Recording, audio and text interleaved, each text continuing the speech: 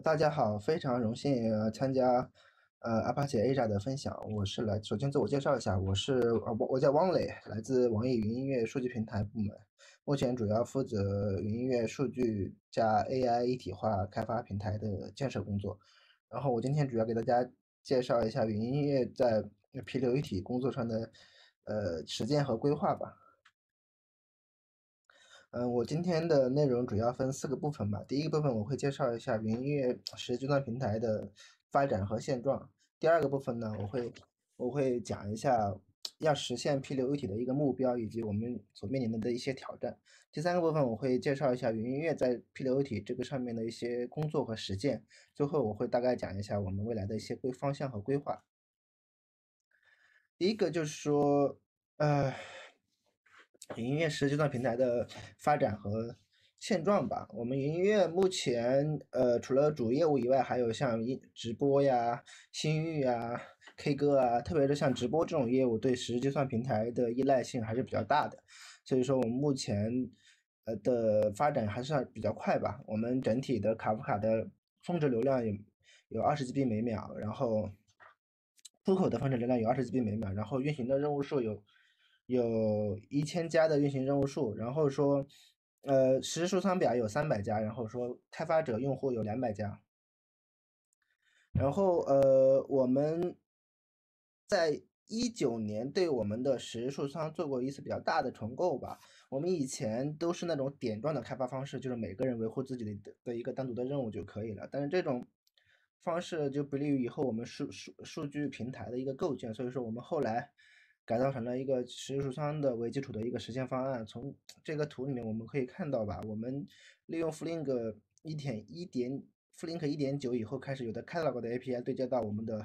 元数据中心。嗯，首先要讲一下元数据中心。元数据中心是我们在这个实时数仓建设以前就已经有的一个一个组件吧。就是说，我们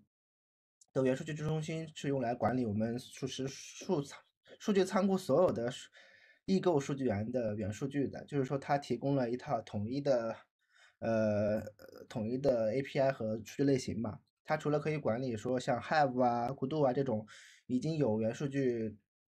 模块的存储以外，还可以进行元数据登记的操作，来管理说，呃。这个元数据登记呢，就我们有个模块叫 Nest，这个 Nest 模块呢，就类似于 Have 的 MetaStore，它可以用来做元数据登记工作。目前我们所有的实时数仓的表都是登记在这个 Nest 的模块当中。然后同时它还具备数据血缘的管理能力，它接可以接收任务发送过来的数据血缘的消息数据，然后构建出一个数据之中的完整的一个链路图。呃，在因为呃，它有着统一的呃 API 数元数据的管理 API 和数据类型，所以我们很很很快的就和我们 Flink 的 Catalog 做达成了一个对接吧，然后很快的就上线了这个实数算的方案。整体上我们就可以通过呃 Catalog 加 DB 加 Table 的方式来访问所有登记在元件中心的数据源。然后说在那上层业务上，我们提供了这一个是 Notebook 的开发方式，还有一个 SDK 的开发方式。Notebook 的方式就是 SOCO 加组件，等一下下面我会再做做一些详细的介绍。SDK 就是说我们有一些任务 SOCO 没办法全部完成，就是我们可以通过 SDK 的方式去访问实时数仓来做，然后后面去用户一些自定义的逻辑来达到一个目的吧。同时我们还具备完善的实时数数仓的管理的模块来做一些表的建设啊、管理啊、血缘的管理啊这些。嗯，然后说，在性能上我们也做了一些优化吧，就典型的一个优化就是说我们在流表读取上做了一些优化吧，就是说可以看到这么一个例子吧，这个例子就是说我读了一张流表，然后再跟一张维表做关联，然后再做了一个全聚合的一个操作吧。整体上来讲的话，这个 case 在 Flink 原生的这个环境当中呢。呃，它就会把像数据读取啊、像反序列化呀、维表 join 呀以及 mini batch 的这些操作全部放在一个作业链当中，然后再做做一次哈希进行聚合计算。这种做的一个，呃，有一点的问题就是什么呢？就是说我们整个的这一块的处理的能力都受卡夫卡分区的一个限制。这样，特别是像维表 join 这种 I/O 依赖比较强的操作，就是说。整个来讲的话，就性能的扩展性就非常的有限，就是我们必须需要去扩展卡夫卡的分区数量，才能扩展整个性能的整个程序的处理性能。就是为了解决这个问题呢，所以说我们就改造了一下卡夫卡的 table source。我们只是通过配置解耦读取和反序列化这一块的操作中，在中间加了一个 k by 的操作，我们可以自定义呃 k by 的逻辑来优化说像围表 join 的呃命缓存的命中率啊，然后说本地聚合的一个性能啊，因为你可以把比如说刚才说我们按 user ID 加 u os 做聚合，我们可以通过 user ID 加 os 来做 k by，这样的话我们做本地聚合的这个效率会非会更好，然后说那个本那个数到下游的数量也会变得更少，然后说整体上因为我在这里做了 k by，所以说我整个后侧的这个这个并发并发的这个处理能力啊就不受这个读取这一块这个并发数的一个影响，来达到一个性能的扩展，这样就大大的。增加了整个整个产整个这个程序的一个扩展性能力那个性能的扩展，然后在运维上我们也对指标做了一些完善吧，就是 SOCO 本身上是非常一个非常好的非开发方式吧，但是说它本身的约束也是比较大的，就是我们有些很多复杂的业务是没有办法通过或者很难通过 SOCO 来来完成嘛，所以说，呃，然后就是说 SOCO 本身我没办法像我们没有办法像那个。像那个代码一样，去加一些日志去去定位问题，就是说就是在平时运维当中就很难去快速的找到这个程序变慢或者变有问题的一个原因嘛。所以说我们在呃在外部数据源上加了很多指标，以去以能够方便我们快速的定位到底是 Flink 本身的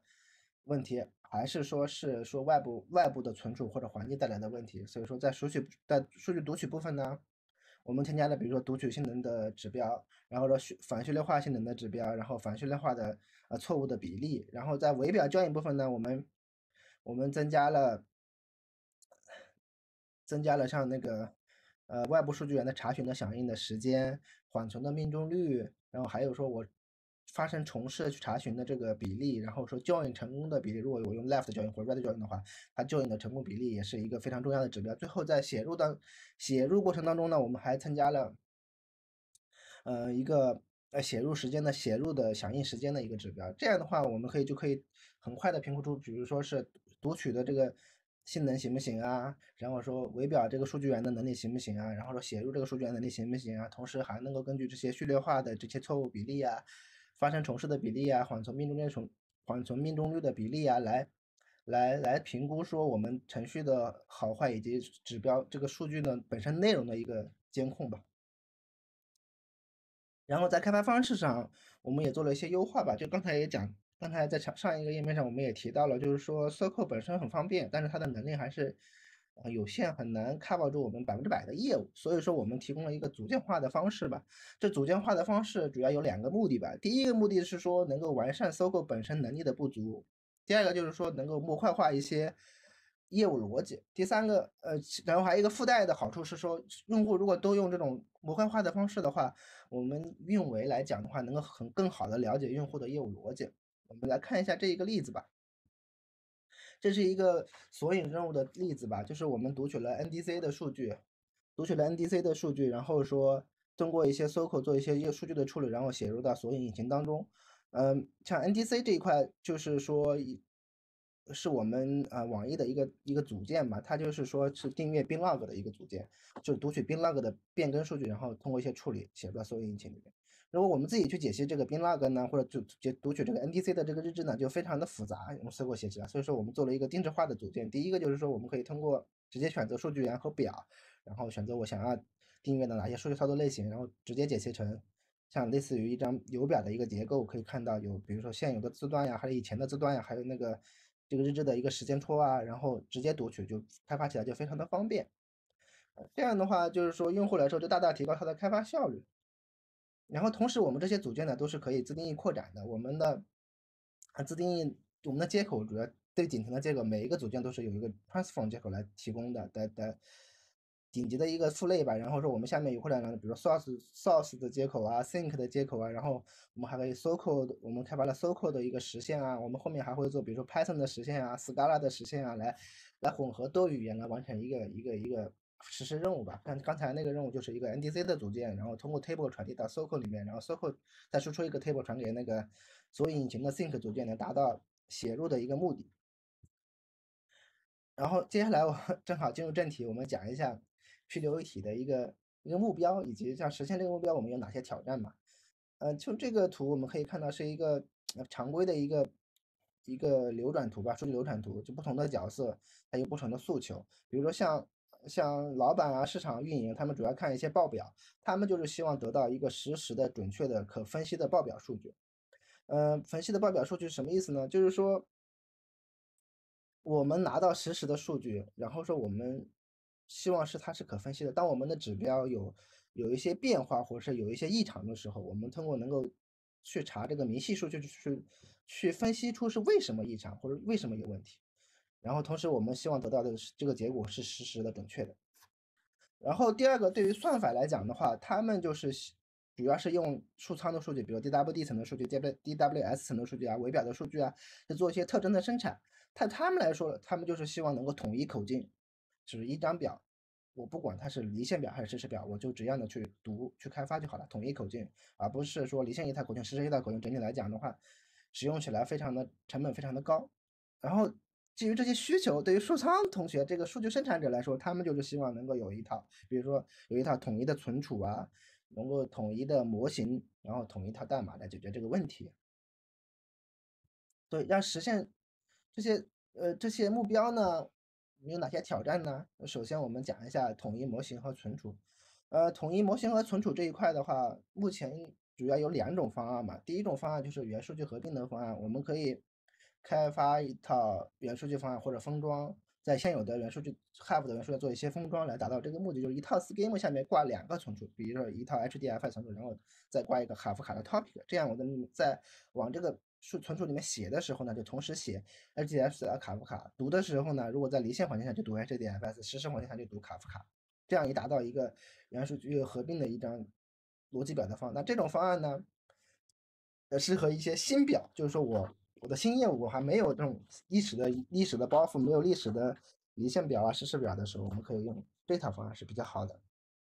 然后还有一套方案呢，就是说逻辑映射的方案。逻辑映射的方案呢，就是说。我们已经有了一些流表和 P 表了，我们采用构建一个视图来映射不同的字段，流表和 P 表之间的不同的字段，来达到一个统一视图的目的。这样在读的时候呢，离线实时环境下读这个实时表，呃，离线环境下读这个 P 表，这样的话就统一一套视图来解决问题。这个也是阿里去年在 FFA 上提出的一个一个方案吧，目前也是在我们的考虑之中吧。然后就是统一计算引擎，统一计算引擎的话。嗯，也有一些可选方案吧，比如说第一种就是说，呃，我们可以直接使用 Flink 作为 P 处理的框架，这样的话我们就不用，我们就可以完美的达到，比如说统一的 UDF、统一的元数据、统一的语法。然后第二种方案就是，呃，但是这种有一个问题就是 Flink 本身的，呃，可靠性或者稳在 P 处理上的可靠性或者稳定性啊，还没有经过太多的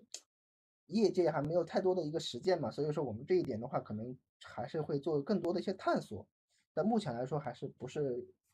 百分之百会采用这套方案来做的。第二种是 Spark 的方案，Spark 的方案就是说我们要做一些工作吧，就比如说我们可以统一一下，比如说 UDF 啊，然后把 Spark 和元数据和 Flink 的元数据进行统一啊。第三点就是语法，就语法这一点上，其实 Spark Circle 和 Flink Circle 本身的语法差异不是那么的大，就是说它在很多 case 下其实是可以拿过来直接用的。当然有一些 case 是我们不能直接用的，但这样的话对于我们来说。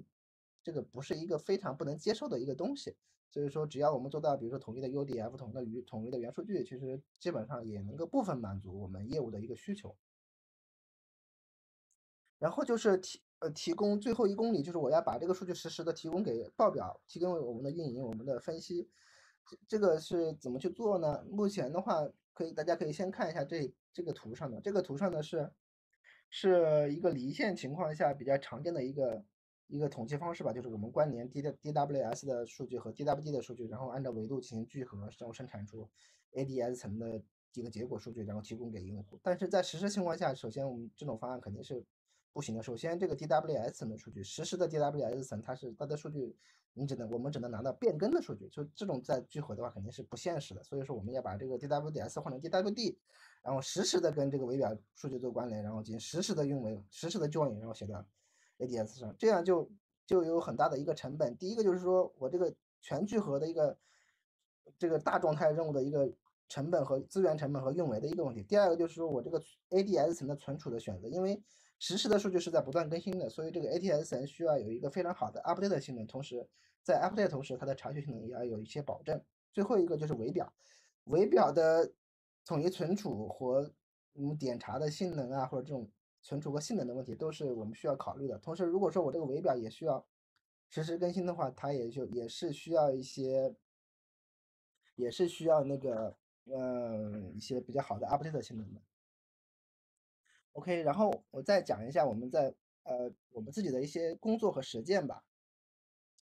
就刚才讲的第一个就是存储问题，同为存储问题，我们目前有采用我们数科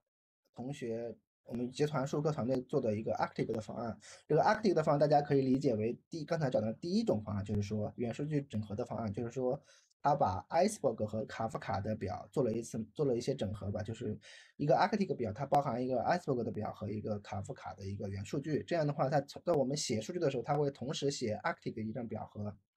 我记得 Iceberg 的表和一个卡夫卡的一个 topic 里面去。就在 ODS 层到 DRB 层的时候呢，它会，我们就可以直接使用 Flink 去做一些呃清洗啊、过滤啊，然后写到另外一张。DWD 层的这个 Iceberg 表里面去，然后同时写 Iceberg，然后和卡夫卡的数据。然后在 DWD 层到 DWS 层呢，我们会做一些文件索引啊，然后对使用 Spark 在后台做一些 rollup，做一些 merge merge 的操作，就类似于像 dread 这种，就是在后台做一些 rollup 工作。然后说在上层做查询的时候呢，我们提供 merge on read 和 merge on read 或者 copy on merge on read 这种操作。这样的话就是说在通过 merge 历历历史的这个 merge 这个 base 表的结果和这个 delta 的结果来做到实时的查询结果，查询的那个一个数据吧。整体上来讲的话，还是比较复杂的，特别是在 WS 到 DWS 层，DWD 到 DWS，DWD 到 DWS 层这一块就非常还是比较复杂的。嗯。嗯，整体上我们目前在这一块 ODS 层到 DWD 层，我们已经上了 production 的环境，在一些新业务上已经在开始用了。但 DWD 到 DWS 层这一块的话，我们目前正在测试当中，估计下半年会会投入使用吧。整体上来讲的话，就是说通过这个 Spark 的这个离线的这个 rollup 来解决一个 Flink 超大状态任务的聚合的成本和运维的问题，然后提用使用 Merge on Read 或者 Copy 的方案呢。来来来提供一个比较好的实时的一个效果，整体上和现在流行的，比如说像像 Hudi 呀，像 Data Lake 的方案差不多。然后说，呃，同一村中还有一个问题是，我们在对比我们的离线表和实时表的时候，我们发现啊，就是说，有的时候一张离线表会对应多张的实时表，这是为什么呢？就是说在离线表的情况下，我们可以说使用比如说分区的技术啊，使用分桶的技术啊，使用。比如说存储有序数据的这种技术啊，来来来减少 I/O 的操作，但是说这在流表情况下，我们没有办法这么做，因为 我们没有办法对流表进行分区，我们必须要建多个 topic 来多张表来解决这个，来做一些 I/O 的这个优化，因为在实时环境中。流量对流量的敏感度比离线更高，在离线情况下，顶多我是跑得慢一点，但是在实时情况下，有可能说我们整个的速度啊，我们的延迟啊，都会受到这个流量的影响，而且有很多的资源浪费，我们不可能把它都放在一个 topic 当中，所以，所以呢，我们我们就是也做了一套参考了 Hive 的元数据的实现，做了一套流表的分区方案嘛，在 Sync 端我们。和元数据进行和那个分区流表的那个分区映射的一块数据进行同步，然后根据分区字段的值来写到不同的这个 topic 当中。在 source 端，我们也是根据用户的查询条件来下推，和元数据中做比较，然后找到它对应的 topic 来提供来进行读取。就是整体上和 Hive 的那个实现差不多。未来目前我们只是支持静态的分区，未来我们会支持像动态的分区的，比如说像。topic 的自动创建啊，然后流表这个分区关系发生变化的时候，自动的逻辑感知和逻辑的迭代更新啊，来做到一个比较一个好的一个使用体验。这是流表的一个分区方案，这个目前我们已经上线了。然后在统一计算引擎这一块，刚才提到一个 Spark 的方案，目前我们也在做这个事情嘛，就是说，因为这一块对于我们来说有很多不谋而合吧，就是说我们以前在离线的时候就已经做过这这种这种工作了，比如说像支持像异构数据源的查询啊，我们在做的我们做的工作只是把它的语法跟 Flink 这一块做了一些做了一些统一吧，就是说统统一使用。catalog D 加 DB 加 table 的方式来来访问，就整体的实现也是比较简单的。我们自己写了一套 SQL 解析器，嗯，然后说适配，比如说像 catalog DB table 这种访问方式，然后说，然后再对接我们的元数据中心，对接我们的元数据中心，在用户的 SQL 传过来的时候，我们会把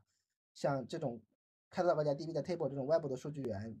转换成 data frame，然后做一些做一些代码的 code 进改 SQL 的改写，然后传到 Spark SQL 菜单当中，然后进行。查询查询到最最终的一个结果，整体上这块逻辑还是相对不是那么的复杂吧，然后整体上实现起来也比较简单，然后说跟我们以前的工作也是一个不谋而合，所以说很快我们就实现了统一一套元数据。然后刚才还讲到统一 UDF 这一块的话，其实现在 Flink 已经支持的比较好了，所以说我们也很快跟进了 Flink 版本，然后支持现在统一的 UDF。所以说在这种离线和实时这种环境，我们现在已经支持了统一的 UDF，统一的元数据。目前我们只需要去统一做一些，比如流流表分区映射啊，或者统一的存储啊，我们就可以在 Spark 里面直接很相似的代码实现一通逻辑吧。不能说完完不能说完完全一模一样，但是已经很相似了。所以说开发去迁移的时候，它也只需要改一点点东西就可以同时在 Flink 上跑和 Spark 上跑。然后在提供呃实时可分析的结果这一块这一块上面呢，我们。我们有做过两做过一些实践吧，就是说，第一个是在我们 A/B test 的场景中，我们采用的方案是，嗯，我们会把比如说像从 DW 层实时聚合去 DWS 层，这个 DWS 层我们选用的是库度作为存储，然后把结果不断的更新到这个库度当中，然后分流数据我们也是一样，然后我会把它更新到也是库度当中作为一个分流的这个伪表数据，然后说使用在上层呢，我们使用。库度是及时的做关联查询，然后提供实时的一个 A/B 的一个结果。然后对于历史的结果，我们为了我们为了这个降低这个离线的这个这个 Impala 的这个查询的量啊，如果说我们比如说查好多天一个月的这种 A/B 结果的话，整个量太大，Impala 的这个响应会跟不上，所以我们会用 Spark 去做一些离线的聚合，做一些离线的聚合来把结果聚合到 ADS 层当中。呃，ADS 层 ADS 层当中呢，然后说